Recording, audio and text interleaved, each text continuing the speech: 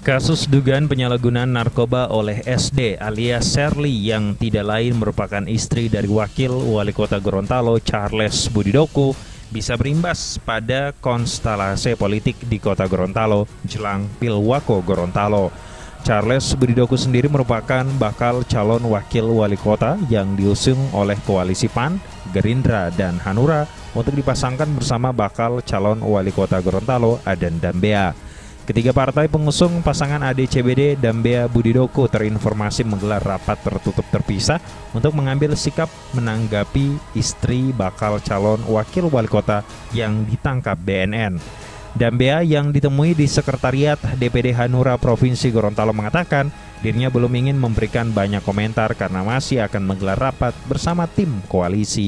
Untuk menutupi ini saya kira kita masih bangun komunikasi dengan lintas partai lintas partai yang mengusung pasangan ini. Jadi belum kita belum pada posisi untuk mengambil sikap ganti atau tidak. Nah, kita akan kita akan kaji secara matang. Sebab kedua-duanya punya konsekuensi, baik itu mau ganti maupun tidak ganti. Kedua-duanya punya punya apa namanya? Uh, harus ada ada plus minusnya dua-dua.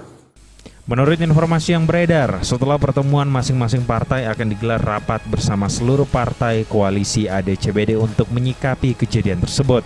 Apalagi pada 10 Januari 2018, bakal pasangan calon kepala daerah ini sudah merencanakan untuk mendaftar ke KPU pada pemilihan wali kota dan wakil wali kota 2018.